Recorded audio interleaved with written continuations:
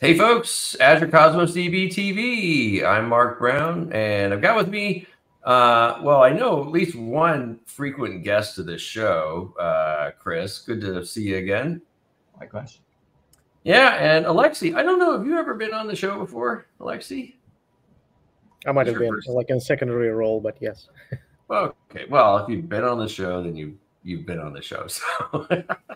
So, well, welcome back. Uh, good to see you guys. We haven't done many episodes lately, uh, but I'm super excited that we've got this one for us. Uh, we're going to talk about something that uh, you guys have been working on for a while.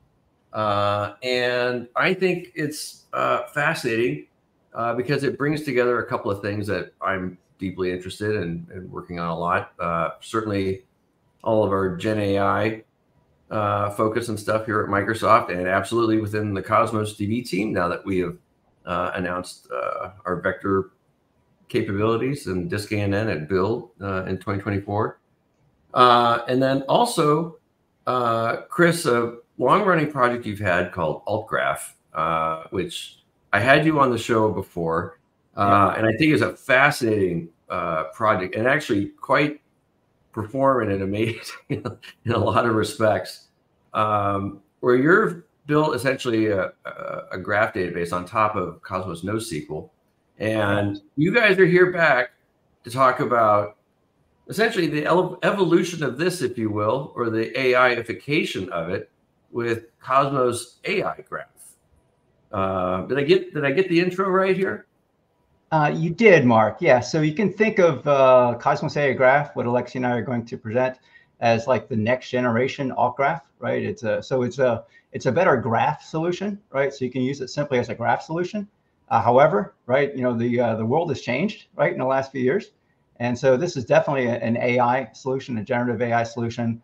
Uh, Aleksey is going to uh, I'll, I'll kick off the presentation, but Aleksey will do a kind of a deep dive on the on the AI aspects of of Cosmos AI Graph. Okay. Well, let's get to it, right? That's why people are here. So uh, go ahead, Chris. Uh, we'll have you start and uh, take us away. Let's learn about Cosmos AI Graph.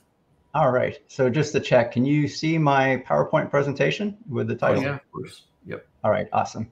So uh, yeah, so uh, this is uh, Cosmos AI Graph. Um, so Aleksey and I are on the uh, Americas uh, Cosmos DB uh, Global Black Belt team. Uh, so we've been working on this uh, since the, uh, December. Uh, it's been evolving. Uh, and so we have a, a, public GitHub repo. So this is our, our vanity URL, aka ms.caig for Cosmos AI Graph. That'll, that'll redirect to an actual uh, GitHub repo. All right, so uh, I'm sorry, audience. I'm gonna I'm gonna spam you with uh, with two rather verbose slides. it'll get better after that. So uh, just a background, like like you know, in short, how, how did we get here, right? So something fundamental changed in our industry in 2023, uh, and that was basically generative AI became uh, you know a household term, right? Uh, and and there, has been a you know a rush by businesses to kind of uh, harness this incredible power, you know, that's in the form of you know uh, Azure Open, OpenAI and and LLMs uh, for generative AI. So specifically, Azure OpenAI, uh, ChatGPT, uh, and vector search, right? Uh, so I think all those terms re really weren't in our nomenclature, you know, 18 months ago. You know, but now it's it's part of our everyday conversation. so what we've seen is, you know, so what what Aleksey and I and our and our teammates have seen is that our customers are bringing to us really interesting. It's a whole new class of, of workloads, right? It's it's it's not like typical application development as we've seen before, right? They're they're bringing uh, graph workloads, uh, and Cosmos AI Graph can be used for plain old graphs. Uh, but more interestingly, uh, they're bringing uh, AI-driven graphs and AI-driven knowledge graphs, right? And so the basic idea is that you kind of augment uh, your your AI implementation with with with a graph. Yes, yeah, so these are these are uh, these workloads are are operational in nature. They're not analytic. You know, so for analytics, you can simply use like Spark and GraphX, for example, and do your your do your big data um, data crunching. You know, in a in a Spark batch environment. But but Cosmos AI Graph is is for operational uh, real time uh, databases. Um, Mark, you mentioned uh, you mentioned AltGraph, right? So that was a solution from 2022. It's been quite successful. You know, customers have used it with with some success. Uh, however, it's been lacking a few things. So uh, the in-memory graph didn't have a query language. Uh, there's no way to uh, define a schema or an ontology, and and the deployment uh, story was was suboptimal. It was a single Azure container uh, instance. So we, we've improved all of that, all three of those major points uh, with Cosmos AI Graph. Now, what's interesting, you know, I think Mark and Aleksey can attest to this. Microsoft is a rather large place, right? And so there's there's concurrent developments going on. So you know, our team started working on this solution, this concept of uh, graph rag that that has morphed into hybrid rag. Uh, Lexi and I will talk more about that. Uh, but meanwhile, the, we have an organization called Microsoft Research, MSR, a team of data scientists and PhDs and really, really bright people. Uh, so they've been working on on this on without our knowledge, uh, and they were and we're working without their knowledge on, on, the, on essentially the same concept. Uh, but uh, I like, I'm proud of saying that we actually have an implementation to go along with this concept. So that, that, that that's the background. This this whole new class of workload, uh, uh trying to leverage uh, generative AI. All right. So sorry again for the second busy slide. Um, so what exactly is Cosmos AI Graph? So uh, it is a it's an open source um, GitHub repo it's it's a reusable design and it's a set of reference implementations. We have two implementations right now. We anticipate adding a third or fourth. Um, so yeah, it's it's a it's a set of solutions that customers can simply use. Uh, we're in the process of helping several customers right now uh, implement this this solution. Uh, just to be clear, just like AltGraph, uh, this is not a Microsoft product or Azure product. It's it's not a product it's just a, a reference implementation uh, that customers uh, can use. All right. Uh, Mark, I'll uh, I'll describe these things and I'll I'll pause for you to ask any questions you like. So, uh, what is it built on, right? So it's built on uh, Cosmos V Mongo vCore. So our vCore product supports vector search, right? That that's the primary reason we built on it. Now, uh, you know, Cosmos DB Mongo vCore is a is a NoSQL database, so we're we're able to store everything, right? Everything for this solution in one database, right? So you don't see an architecture with, uh, you know, maybe a, a vector database and a relational database and a NoSQL database. I mean, it's a very simple deployment solution with uh, a single database that stores everything, your your domain data, uh, your your AI data, your vectorized data, your your chat history, your token usage, uh, everything. Uh, certainly, it uses Azure OpenAI. Uh, it uses RDF technology. I'll double click into that on the next slide. Uh, RDF, you can think of that as, as a branch uh, of graph databases. Um, much like AltGraph, it uses an in-memory graph database. And this is inspired by, by LinkedIn, right? So uh, Aleksey and I have talked to the folks at LinkedIn, which is now, of course, a Microsoft property. And, and we asked them, hey, you know, how exactly is your graph, is your, is your huge graph implemented, right? And the short answer is it has an underlying storage technology, but the graph itself is in memory, right? So this, this solution is, is inspired by that, that in-memory graph. Uh, this solution is end-to-end -end Python, right? The entire thing uh, is Python. So there's a web application, there's a backend service. Uh, it's built on a FastAPI web web framework. We're using a really interesting library called RDFlib uh, that implements the RDF graph. Uh, we're using semantic kernel as our orchestrator. Customers are free to use uh, LangChain. Alternatively, we just found semantic kernel a little bit uh, more stable. Uh, it's a it's a containerized solution, right? So you can deploy it. Uh, we recommend Azure Container Apps but you can deploy it to Azure Kubernetes Service if you wish. Certainly, it supports generative AI.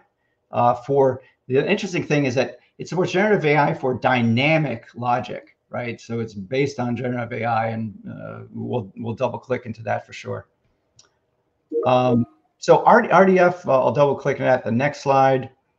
Uh, again, the by choosing Cosmos DB vCore, it allows for a simplified uh, architecture using simply one database, right? You don't need, you know, seven databases in the solution. It can be very, very simple. Now, now the main, uh, you know, intellectual property type aspect of Cosmos AI Graph is this concept of hybrid RAG, right? So what exactly is that? So basically, uh, and, and why? And why did we even come up with such a thing? So the answer, the short answer is vector search is good, right? Vector search is good. However, it doesn't answer all of your questions uh, in the most uh, pertinent manner, right? You can you can get your RAG data maybe better, faster, cheaper uh, in other ways, and that's what that's what we're we're uh, we're striving to do, and we are implementing with a hybrid RAG pattern.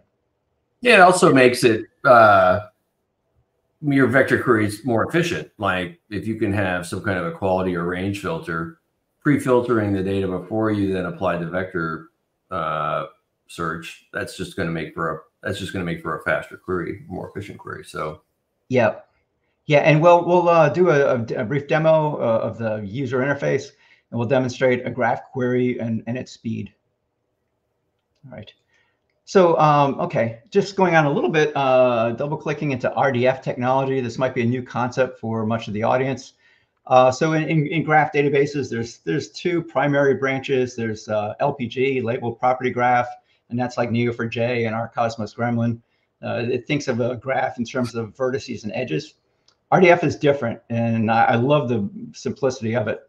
Um, but in short, RDF stands for Resource Description Framework. Uh, it's it's no more than a set of W3C standards, right? So it's all open standards based. Uh, it's mature. It's been around for 20 years. And if you do any sort of web searching on knowledge graphs, you know, at the very top of the search results, uh, you will see uh, RDF technology, right? So RDF is used for primarily for quote unquote uh, knowledge graphs. Now, one one really interesting feature of RDF technology is the web ontology language, which has this bizarre uh, acronym, OWL, a little bit uh, dyslexic. Uh, it, it's an XML syntax that allows you to define, you know, your schema in your graph. Um, it, it's a it's like a one day learning curve, but it's uh, it, it's really quite a, a beautiful syntax actually. Uh, the really interesting thing about RDF is that your data is stored as as an as an array of triples, right? So what what's a triple? A triple is a is a like if you're familiar with Python, it's a tuple, and and the tuple is subject, predicate, and object. So like so, for example, uh, example uh, triple would be Cosmos DB has API vCore, right? Uh, Aleksey works at Microsoft. You know, th- those would be two examples of uh, of triples. So your your, your your graph database is nothing more than a large set of triples with an ontology uh, and, and, so it's it's beautifully it's a beautifully simple design. Uh, SPARQL. So SPARQL is the query language. In my opinion, uh, I've been working with uh, Gremlin for a while. I've never quite mastered it because it's really quite complex. Uh, likewise, Cypher is pretty complex. Uh, we, we feel that SPARQL is a is a simpler query language. It's it's much like it appears much like SQL. Looks more familiar. and RDFlib is is our is the uh, it's an open source Python library. You can find it on PyPI, P-Y-P-I, uh, and it it implements a mutable uh, in-memory RD, RDF graph. So just briefly, where where is this memory? Right. So it's not in Redis. It's not in in a virtual machine. Uh, the memory is in a Python process that's running in a Docker container. Right. So Docker container running a Python process and the graph is in is in a is in the in, in the memory of the Python uh, process. All right, go forth. Um, I'm going to uh, skip this um, this slide. Uh, customers, please reach out to us. We'd love to help you implement this. Um, it, it, it's uh, it's it's a really good process. Uh, it, it's it, it'll be much simpler than you might imagine. Uh, likewise, Mark and Aleksey, I'm going to skip through this page. I think the audience is is generally familiar with vector search and what it is. Uh, so we'll skip through this. Well, you uh, I'll, I'll spend I'll spend a few seconds. On, I'm sorry, Mark. I've said you'd be surprised. Not everybody is yet. So yeah, still early days. A lot of people just getting just getting started. So okay. Yeah, yeah. I, I, think you might have other vector search uh, mm, episodes, Mark. So I'll I think. Uh, yeah, yeah, that's right. So, folks, come on back. We got other shows. We can talk. We'll get James Codella back on here. We'll talk all about it. So, yeah, that's yeah. Fun. All right. So, uh, just uh, spend a few seconds on this slide. So, uh, we've learned. You know, Aleksey and I have worked with customers, and you know, we've we've implemented this solution with them, and we've, you know, we've learned some things, and we've brought it back into the into Cosmos AI Graph, the solution. One of them is the generation of the ontology right? This is kind of a, uh, a learning curve for most customers. So what we can do, we can like scan the input data, observe the structure of their vertices and edges, the data types, the attribute names, things like that, the relationship names, what, what they're connected to. And based on that kind of mind metadata, we can generate some things, right? So we can generate the ontology, uh, a really good first first cut at the ontology. And likewise, there's going to be a class that loads Cosmos DB into the RDF uh, lib graph. That that Python class, it could be hundreds of lines of code, that can be generated as well. So that's kind of a, a nice uh, feature of the of the implementation. Um, yeah, so uh, we're, we're using generative AI uh, in several ways, right? So uh, Alexa just want to show you this, but you know, uh, in, a, in this conversational system, the user can can enter some some natural language, and then we need to infer what are they trying to do, right? What are the entities? What what's the intent? What what what are they? What's the question that they that they're asking, and and how how is it best to solve it? Uh, so Alexa will talk more about that. Uh, we're going to have some dynamic generation of SPARQL queries, right? So again, from the natural language, we're going to uh, generate a SPARQL query. I'll, we'll do a demo of that shortly. So I'll, I'll skip on to the next page. That was, that was a bit of a teaser. All right, so this is a screenshot of, of uh, one of the pages I just mentioned. So um, in the user interface that demonstrates these concepts, uh, there's a there's a page called the Generate SPARQL console, and it allows the user to enter in like natural language, like here in the top right, you know, what are the dependencies of the PyPI library named Flask? Yeah, the the uh, remember I said there's several implementations in in Cosmos AI Graph. The first one is a is based on uh, a data set that, that we mined from PyPI, which is the um, uh, location where uh, Python libraries are available, right? So we we we mined mm, 10, 20,000 libraries, and uh, it forms a really nice graph. So for example, you know, a library uh, so this is interesting. So software is made of software is made of software, right? So a library has dependencies on other libraries and they have dependencies on other libraries. So it forms a really beautiful graph. So you can ask this question, uh, you know, what are the dependencies of a certain Python library? You click the button and it actually generates the SPARQL query. And so how does it do that, right? So it takes the, the user input as natural language and it adds the, uh, the ontology or the OWL file as a, as a system prompt, passes that to the LLM, and ta-da, we generate the uh, SPARQL query. Now, yeah, so I'll, I'll, I'll cover this more in uh, the next, uh, when we do the demo of the UI.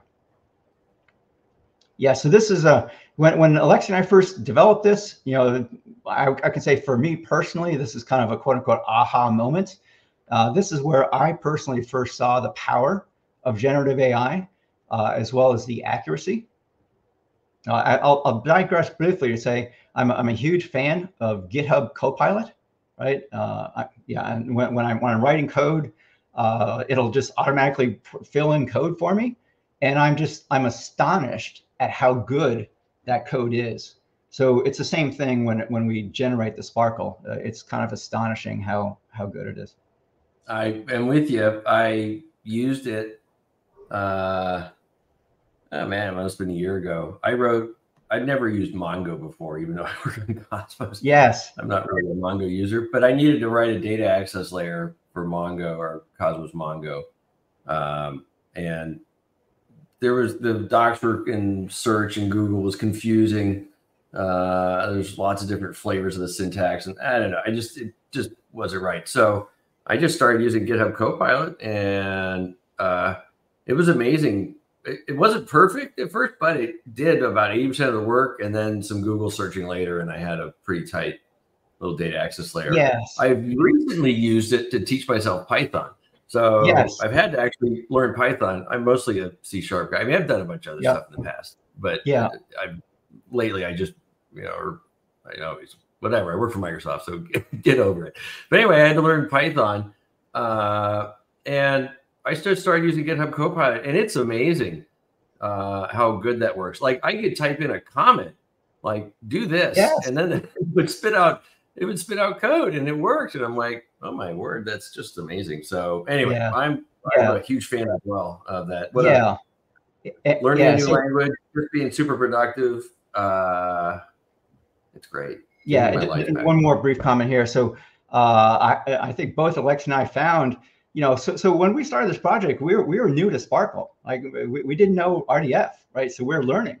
Uh, and so we actually use this feature to help us write SPARQL code, right? We would just type in natural language and it would, you know, give us the result and we'd say, ah, cool. You know, that, that's how you implement that query, right? So likewise, customers can do that with their solution right? They, you know, they they can have a, this as a development page and learn how to how to write proper SPARQL based on natural language. It's it's So really are you sending this straight out of an LLM? Uh, are you training it? Are you are you uh, using rag pattern to pass in a bunch of data and other stuff? How do you?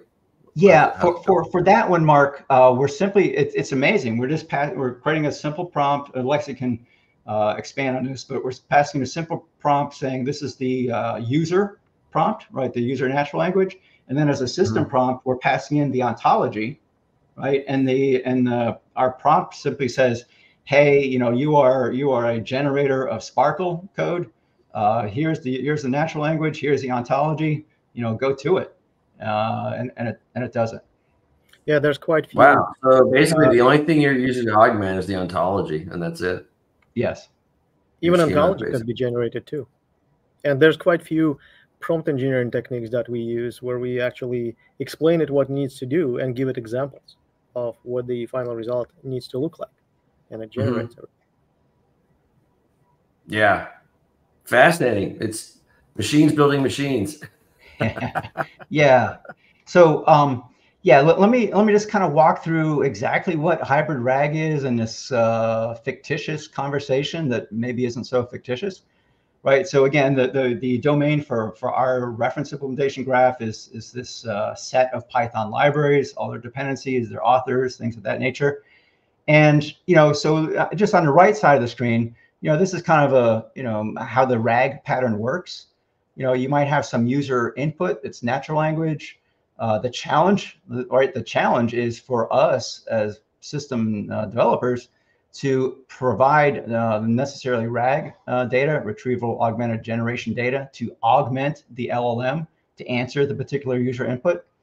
Uh, that together is combined into a prompt that is passed to the LLM, uh, and it produces output right? So the critical, well, there's a couple of critical things there. So so how how one crafts the the prompt uh, is is a critical uh, factor in success. But more particularly, uh, the the you know this RAG data, like how, what exactly is the data that you pass in to the LLM uh, to generate this uh, generative AI? That's that's the key thing. Uh, and you know, so vector search is good, right? But sometimes other solutions are better, right? So uh, are better to answer a certain question. So for example, like in the middle of the page, in this, uh, you might have a conversational AI page in your application. And, you know, again, this is a, this is a Python library uh, domain. So the user might say, uh, ask, you know, what is the Python Flask library, right? Super simple uh, utterance, right? That, that the user uh, would say. And and so you know the the best way to get the RAG data, in our opinion, is just do a database lookup, right? We don't for for that one we don't need, generative AI, right? It's better, much faster, much cheaper to just do a beta, database lookup. Now the challenge is how do you understand the entities and how do you understand the intent of this? Uh, and Alexia will talk more about that. But for some questions, uh, I guess the point being, some questions you can just determine what the, in this column is our strategy. Uh, so this is a strategy for obtaining the RAG data. So we are determining that simply database lookup is the best way to get that RAG data. So we simply read read Cosmos vCore get the Flask document that has a description uh, attribute, and we pass that as RAG data. So that's the first question. The next question is, I mean, you might, uh, user might ask, okay, cool, I have Flask. Uh, what are its dependencies, right? And so, you know, the, a vector search isn't going to help you much here. It, will find, vector search will find similarities of Flask, but that's not what the question is. The question is, what are its dependencies, right? And, and that, that question is best answered by a graph. Uh, you know, uh, so, so this is where the in-memory graph is, is uh, queried. Maybe the next question is, okay, here's Flask. Next question is, what are the alternatives to Flask that use async, you know, asynchronous processing? So this is obviously a, a vector search because it's a semantic uh, matching, similarity search, right? So we're looking for similar uh, web frameworks that are asynchronous. Uh, might maybe the next question is who is the author? Again, uh, the context is Flask. That would be another database lookup. Uh, maybe uh, the next question would be what other libraries did she write? Right. So given that author, we can traverse that author's libraries that, that uh, he or she has authored. Right. That would be another graph search. Um, maybe the next question is, you know, display a graph of all her libraries and their dependencies. So in, in this fictitious conversation, uh, only one uh, question was answered by vector, and then the rest were either graph or database RAG. So again, we, feel that, that the hybrid RAG approach can yield better, faster, cheaper RAG data. One other comment to add is that right now we have three uh, um, sources for the RAG data. We could add a fourth. We could add, add Azure AI Search. We could add something else, right? So that there's essentially no limit in terms of where to get the best data. That's very cool. Uh, I like this a lot. All right. Uh, okay, you got more? we? Uh... Uh, yeah, I, yeah. Uh, I have uh, one more. So basically, the architecture is uh, it's all Python. Uh, it, it's deployed Azure Container Apps. There's there's simply two nodes. You can have a web node and a graph node. In Azure Container Apps, you can specify different uh, number of these nodes as well as different size, right? So the the so the graph node may be uh, a larger memory footprint than, than, the, than the web nodes. Uh, the graph is loaded. Uh, again, so the key point here is that the underlying data is stored in Cosmos. Cosmos isn't a graph, right? Cosmos is just the underlying data store, but the data is read from Cosmos and instantiated into the in-memory graph. So, so the graph only exists in memory in this process. So in the interest of time, I'll move off of this. And all right, so let me let me do a quick uh, quick demo of a couple pages, and then I'll pass it to Aleksey. Okay. All right. So um, yeah, so this user interface is designed to explain and demonstrate these concepts, as opposed to uh, you know implementing a certain you know, actual business application, right? So here is a, a SPARQL console where the user can simply enter a SPARQL query and execute it. So let's do that. I'm just going to click uh, submit. And you might have seen that the response came back immediately. So it, it took three uh, one thousandths of a second to execute that graph query. Uh, it consumes zero Cosmos RUs because number one, it's, it's vCore, but number two, the graph is in memory, right? So there's no disk IO involved in solving for that query. Uh, just as a demonstration, so we, you can produce a, a visualization. So I, I want to see the bill of materials or the graph of the Flask library. So the query came back in uh, very few, two, 200, one hundredths of a second. You know, we can visualize it with D3.js. You can, you know, modify, you can click into the nodes, etc. So this is just a, a demonstration of how you can implement, you know, an actual graph uh, with this solution uh, based on SPARQL. Now, the more interesting thing uh, so back back to this UI, uh, back to what I already showed is the generation of SPARQL. So uh, I'm just going to click this. This this is the same uh, utterance that I, I, showed in a screenshot earlier. So just let's do it real time. So I clicked it, and there we go. I mean, it took a couple seconds to generate that. That uh, I'm sorry. Took a couple seconds to uh, to generate that query. We can execute it. Execution time is crazy fast. You know, four one thousandths of a second again because it's in memory. Um, yeah, so that's generate SPARQL. The, the next page is conversational AI, and I think we should pass the baton uh, to Aleksey to talk about the conversational nature of this as well as a you know much deeper dive on the on the AI aspects of of all of this. Okay, uh, sounds good. Aleksey, let's uh, maybe take it away. sure. Um, thank you, Mark, and, and thanks, Chris. Um, so I'm going to uh, explain how this uh, conversational AI works. So first off, let's start with something really, really simple. Uh, we're going to look up uh, record Flask. As you have heard from Chris, we have a data set that represents uh, library. So uh, record Flask in it should probably mean um, something about you know a library called Flask. And as you can see, the result comes back pretty fast. Uh, what we're actually doing here, uh, we're trying to de detect the intent of the user uh, first before we actually determine which store to send it to. In this particular instance, we actually didn't send it. Um, we, we, we, sent it to database, and that's what this RAG strategy uh, tells us. But how did we determine that? We didn't even actually send a single request to GenAI for detecting intention. We simply determined that there's some simple utterances in the question itself uh, that probably will force us to look up uh, the record uh, in the database anyway. So we just do a shortcut and we send it to a database query. Um, let's do something, you know, uh, slightly more complicated. Let's say, let's ask it, like, for example, you know, what are the dependencies of library Flask, right? And uh, when we do this, of course, we do need to detect the intent with the help of generative AI because this is slightly more complicated question. We didn't detect any simple utterances in it. Uh, so it comes back with this particular response and it says Flask is lightweight web application framework in Python. Its core dependencies include uh, and Jinja 2, uh, Click, uh, ItsDangerous, you know, four dependencies essentially. How did it determine that? We actually traversed it using the graph.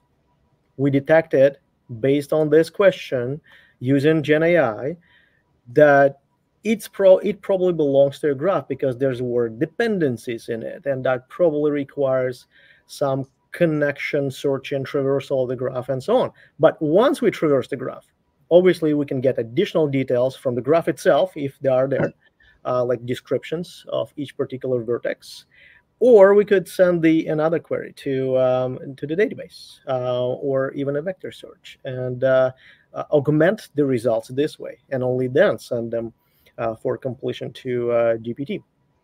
And uh, GPT obviously came back with a nicely formatted answer for us, you know, that could literally be just, uh, you know, copied and pasted. Um, you know, something more complicated, let's say, uh, you know, we wanted to ask, you know, what are the two asynchronous alternatives to this library? Notice that we don't even mention Flask library anymore because we're actually, you know, following the best practice and we're sending, you know, uh, the last few responses along the way.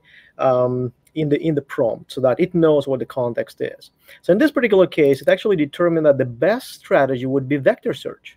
Because remember, we actually have a vector search with the vectorized uh, set of data uh, as well in Cosmos DB now, and uh, we're, we're, we're using that. So what are the two alternatives? FastAPI uh, and Sanic. Uh, so you know, how did it determine that? I mean, vector itself, the strategy was uh, determined probably because there's a word alternative in there. Because vector search is best when you're looking for something similar, alternative, similarities, and so on. And therefore, you know, we correct AI correctly determined that it's vector search, and we pull from the vector search the records that mention Flask somewhere in the description and simply say that uh, you know uh, those are the alternatives way to uh, to implement uh, applications. And if we want to do even slightly more complicated query, like what are the two synchronous alternatives that use Pydantic? Um, as you know, there's a you know very popular Pydantic library uh, in Python that is often used. Um, and uh, if we ask this kind of question, it also comes back with search. Again, alternative drove it, but it also filtered on Pydantic. So it, it only selected the ones that actually are based on Pydantic, on from Starlette, specifically on FastAPI. So um, this is all good. You know, we have uh, a way to provide feedback. For example, if you know certain types of questions require different type of strategy, you know, you could provide a feedback, or you could look at the prompts and see, you know, what exactly do we send to Gen AI, right? And uh, you know, maybe correct uh, the questions based on on this prompt. So another thing I wanted to show is, um, you know, this this baseline. You know, Chris alluded uh, to the fact that we're trying to essentially come up with a better version uh, of baseline RAG, and you know, I want to highlight few things that are currently deficient in baseline RAG. You know, why is it not enough?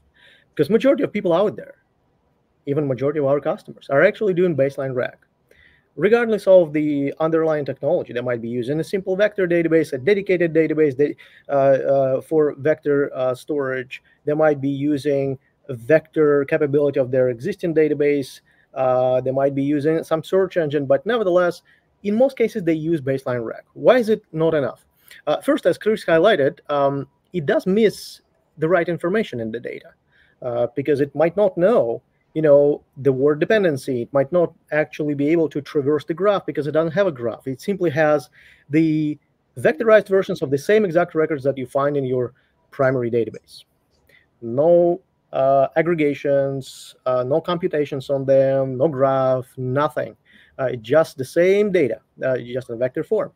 Uh, so it leads to lower accuracy of your Gen AI solution in general. Uh, it, surprisingly enough, it actually forces the user to use as much uh, of the modal context window as possible because you want to provide as much context as possible uh, in the in the prompt, and therefore you tend to maximize the utilization of these tokens by providing uh, as many vectors that you pull uh, or as many documents that you pull from your database by doing the vector search, because you're thinking that GPT might actually miss some important context.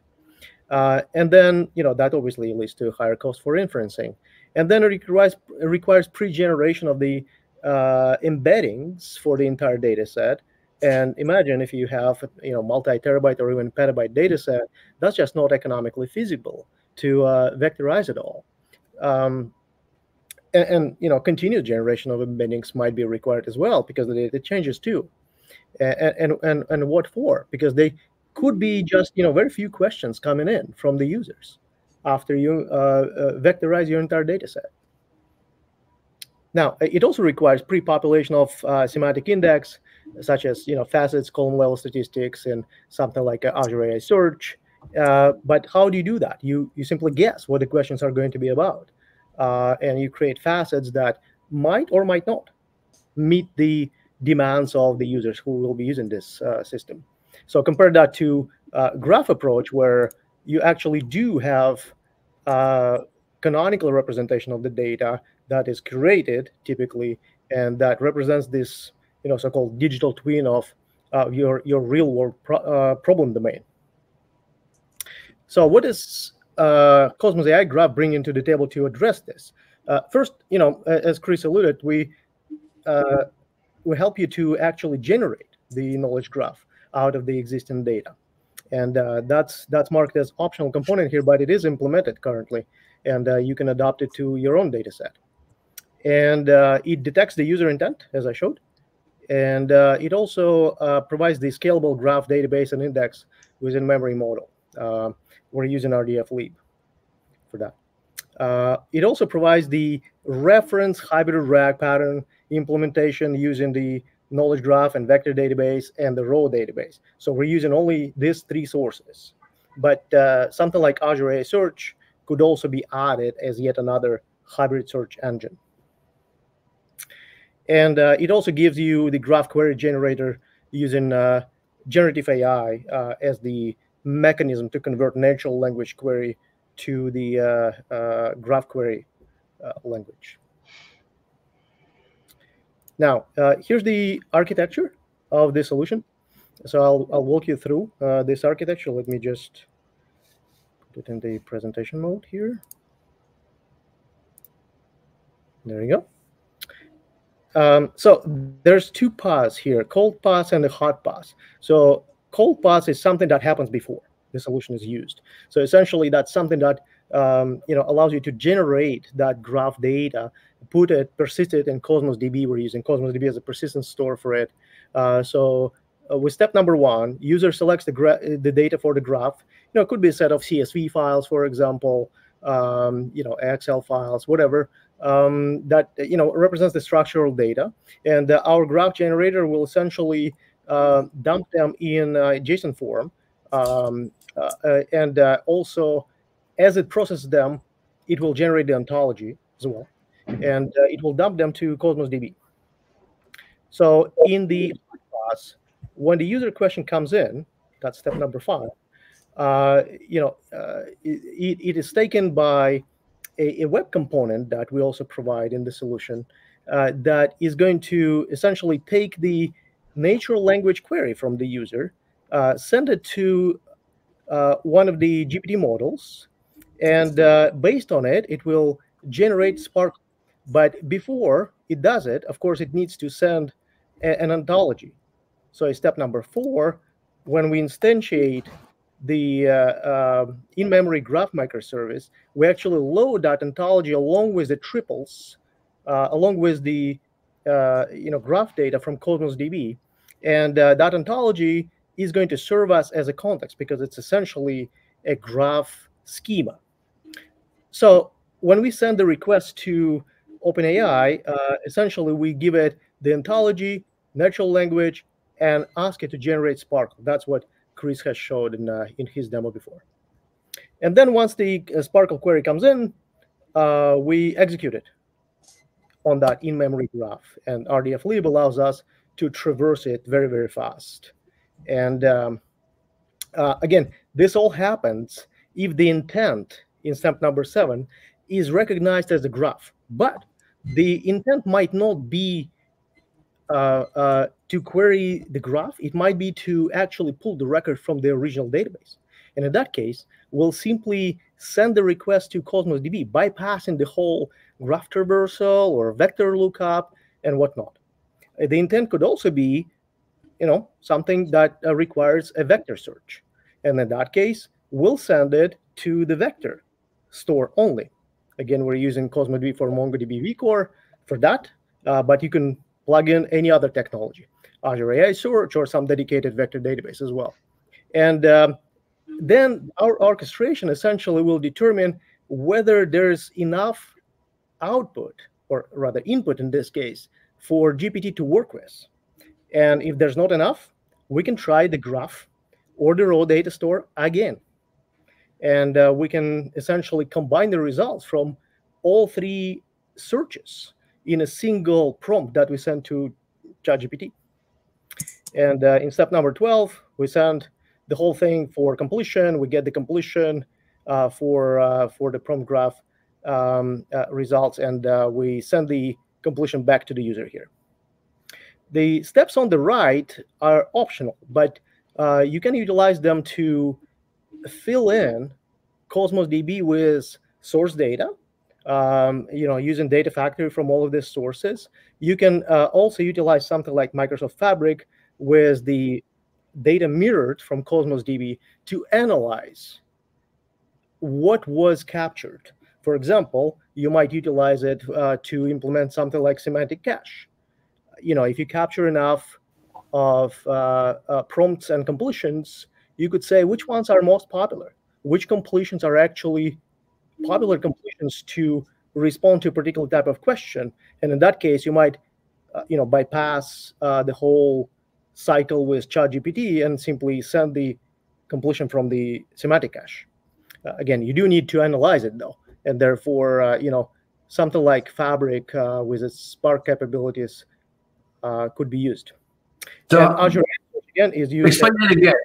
I missed the how, so you could use this as a semantic cache, but that's using vector search on the prompts, right? Or it's not. No, semantic cache. Uh, uh, yes, it does use uh, does use uh, um, uh, vector search in Cosmos DB. Okay. But when the data gets mirrored, uh, again, it could be analyzed, you know, in something like Fabric or any other analytics analytic analytical system where you can, you know, uh, go through the records and find out which ones are responding better to what questions based on the feedback that we collect. Uh, which ones should be removed because they're duplicate? Which ones should be prioritized higher uh, because there are more complete responses? You know, you can't do that in the database uh, very efficiently. You do need something like you know analytical store and yeah. Uh, and the system and the engine that uh, Fabric provides. Yeah, exactly. Yeah, yeah. Okay, cool. That's a cool use case, actually. Yep. Uh, so, uh, very you know, quick call to action here. Uh, there is a, a, public repo that we published, and uh, Chris has already given the URL for that, aka.ms slash CAIG, uh, Cosmos AI Graph. Um, we do encourage you to explore it, you know, deploy it to your Azure subscription. Uh, there's a script, very easy script to execute to do that. Um, you can contribute via pull requests uh, to it. Uh, you can provide as much feedback, positive or negative, as possible. And obviously, we do want to hear your use cases. we want to hear about your data sets that might or might not be um, um, uh, covered by this implementation or you know baseline RAG for that matter. And uh, we we might be able to help you to implement this uh, hybrid RAG solution as well. We do have resources for that. Thank you, Mark. Very very cool, you guys. Uh, I think a really nice evolution of your Cosmos AltGraph uh, there, gentlemen. And uh, yeah. this is a, you know, I, I, mean, you wouldn't do this if there wasn't an ask for it, right? I mean, I know you guys. I mean, you are you are basically as close to the customers as you can possibly get, right? So, yes. uh, and you guys don't do a thing unless there's customer need for this thing, and there clearly is. Uh, I I even hear this, right? Like customers want to do they want they want graphs. They want they want to infuse AI into graphs, basically. Uh, and graphs are very powerful. And this is this is even more powerful. This this graph yeah. rag, I guess you could call it. Yeah, if I could, Mark, let me add one more comment about the uh, conversational AI page that uh, Aleksey uh, demonstrated. So uh, we, we feel that there's several be best practices uh, built into that right? So, uh, and, and, again, uh, Alex and I went to FabricConf uh, in Las Vegas uh, a few months ago, and we attended a session on you know best practices for user interfaces. And, and one was to provide, you know, give the give the user the ability to, to provide feedback, right? Like, you know, to say, hey, this doesn't make sense. It's a hallucination, or hey, you know, this this nailed it. You know, but but give the user ability to provide feedback. So we, we provided that. Another thing I want to say about the the conversational AI page is that and you might have noticed uh, at the top left, there was a conversation ID prominently displayed in the UI. And so that, that resolves to like a document uh, ID in Cosmos DB. So the entire conversation is stored as a, as a JSON document in Cosmos in the conversations container. And it contains like the prompt history, the chat history, token utilization, any feedback, you know, et cetera, et cetera, right? So so that that lends itself to you know downstream analysis, right, to make sure that your system is optimized. So, you know, we imagine that customers would use that, uh, do that analysis on those conversation documents to to optimize, you know, their prompts and, and their their entire system. Yeah, yeah. Uh, this is great, guys. Uh, very very cool. I encourage everyone. I've been I actually took and made it a little quick banner here as well, Chris, when you were starting out, and I put a nice little banner there for folks and uh, showed that nice. a couple times. So I hope people go and yeah, let me make sure I got it right. I did get it right. Okay. Don't want to good, send good wrong. Yeah, thank you. I can type. Uh, well, thank you, gentlemen. Uh, this is great. Uh, I love seeing like again the evolution of the of the alt graph into this. Uh, I you know like I said, this, this is uh, it's fascinating stuff, and you guys are just simply amazing. Uh, you, you, straddle the customer and the technical in such a such a good way. Uh, I'm kind of jealous, actually. yeah. All right. Well, thank you, folks, for joining us. Uh, it was good to have you back. We haven't had too many shows. Uh, we're working on getting more uh, lined up for you with lots of cool stuff, uh, just like you saw here. Uh, so that's it. Uh, thank you, Chris. Thank you, Aleksey. And thank you, everyone, for joining thank us. We'll see you again next time. Thank you, Mark. All right. Thank you, Mark, and everybody. Bye bye.